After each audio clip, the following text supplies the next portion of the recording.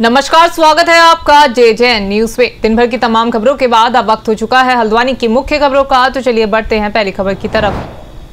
हल्द्वानी में बीते दिनों समुदाय विशेष के ऑटो चालक द्वारा नाबालिग छात्रा के साथ दुष्कर्म की जघन्य घटना को अंजाम दिए जाने के बाद हिंदू संगठनों में काफ़ी रोष है, जिसके चलते आज हल्द्वानी सिटी मजिस्ट्रेट कार्यालय में प्रदर्शन करते हुए हिंदू संगठनों के लोगों ने आरोपी को फांसी दिए जाने की मांग करते हुए बाहर से हल्द्वानी आए ऑटो चालकों के सत्यापन कराने की मांग की। वहीं सिटी मजिस्ट्रेट एपी वाजपेयी ने बताया कि इस घटना में आरोपी को तत्काल गिरफ़्तार कर जेल भेज दिया गया है और जो सत्यापन की मांग है, उसको लेकर आरटीओ द्वारा आठ टीमें बनाकर शहर में सत्यापन अभियान चलाया जा रहा है।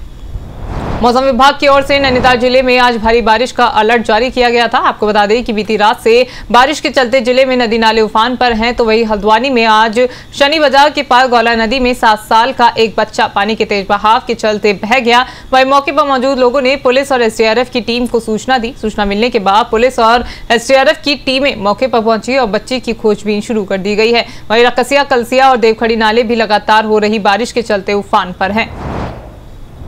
वहीं हल्द्वानी से एक और रोंगटे खड़े कर देने वाला वीडियो सामने आया है, जहाँ हल्द्वानी रोडेज बस अड्डे पर दो युवक एक परिवार से खुलेआम मारपीट कर रहे हैं। बताया जा रहा है कि ये मामला देर रात 12 बजे का है, जहाँ बाइक सवार दो युवक, कार सवार परिवार से मारपीट कर रहे हैं। आपको बता दें कि रोडवेज़ बस अड्डे पर रोज़ाना देश विदेश से हज़ारों यात्री कुमाऊं के प्रवेश द्वार हल्द्वानी आते हैं, लेकिन रोडवेज़ बस अड्डे पर खुलेआम मारपीट हो रही है और लोग तमाशबीन बने देख रहे हैं। वही मारपीट का वीडियो सामने आने के बाद हल्द्वानी पुलिस हरकत में आई और मौके पर मारपीट मारपीट कर रहे दो युवकों को पकड़कर कोतवाली ले आई, जहाँ इनकी बाइक सीज कर कार्रवाई की जा रही है।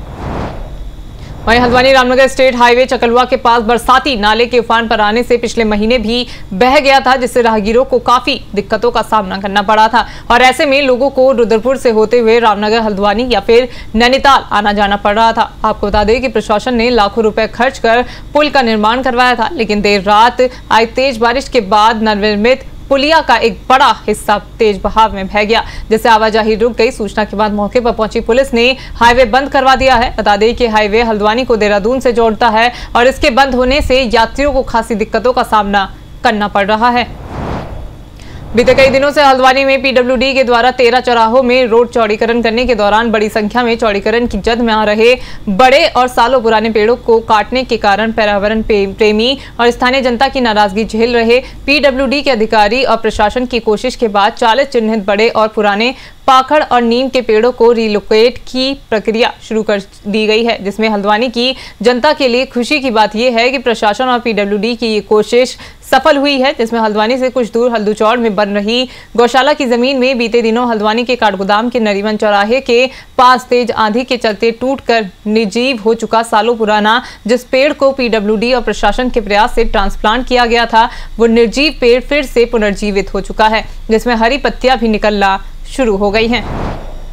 हल्द्वानी की मुख्य खबरों में आज के लिए सिर्फ़ इतना ही, बाकी की तमाम खबरों के लिए आप बने रहिए जे जे न्यूज़ के साथ। नमस्कार।